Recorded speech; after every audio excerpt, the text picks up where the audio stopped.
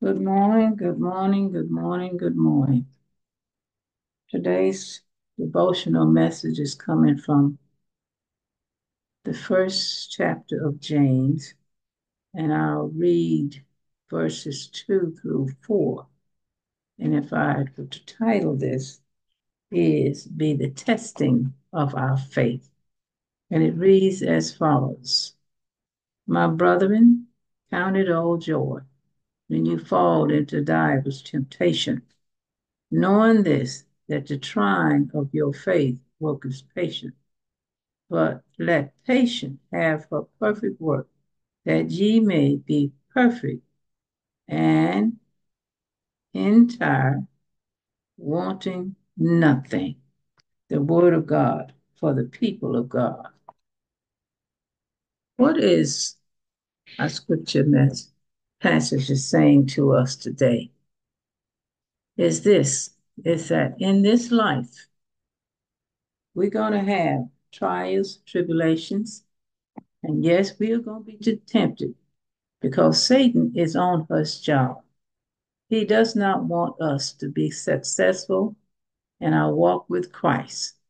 He's going to come after us in so many different ways and different disguises.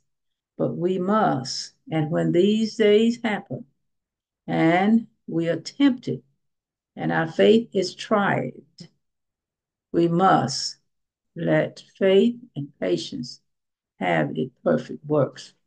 Yes, sometimes trials coming out and tribulations come in our lives to test our faith.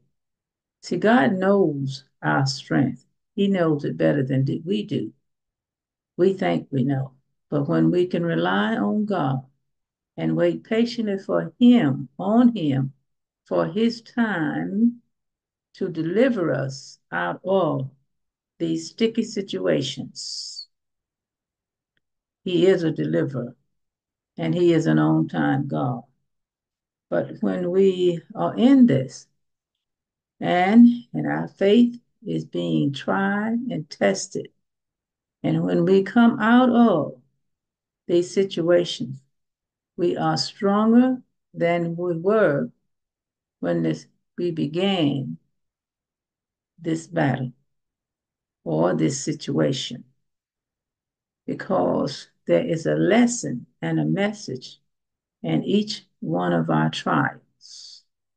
And if it's not readily known to you, just ask God this question God, what is the message that you want me to learn?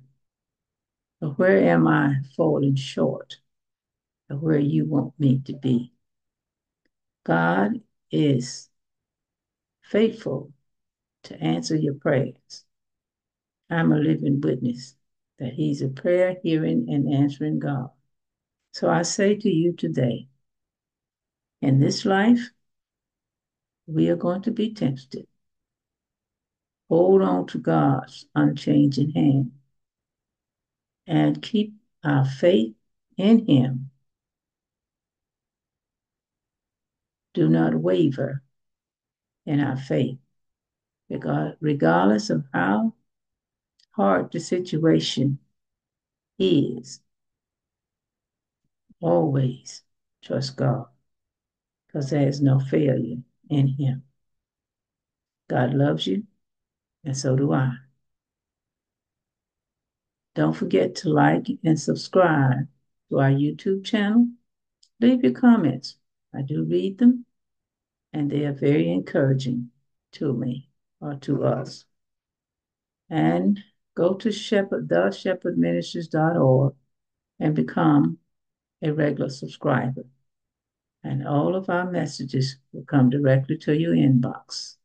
We do not do junk and solicitation other than raising funds for the church to keep its ministry going. Thank you. Have a blessed day. And know this I love you with the love of God, and you can't do nothing about it. Peace.